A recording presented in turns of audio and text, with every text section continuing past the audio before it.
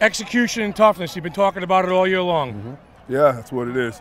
I'd like to see a little better execution. I thought we started slow tonight, came out, you know, some unnecessary penalties, things that we didn't need to have in the first quarter. But um, after that, we got moving, so it worked out. The luxury of having Star Stokes and Monty Johnson playing quarter uh, cornerbacks for the rest of your defense, boy, it's awfully hard for teams to do anything against you guys. Uh, yeah, we're fortunate. Uh, Monty's the real deal. Stars really coming along, so it helps out, you know. And tonight was a big night, you know. Arguably one of the better players in the state didn't play tonight, and we were still able to do what we did, so that worked out well. The journey of the season, nine and 0 mm-hmm. one game away, Thanksgiving Day against NFA. You know, what does it mean to you personally uh, to coach in this game on, on Thursday on Thanksgiving against Norwich and possibly restore an undefeated season here at New London? More agita.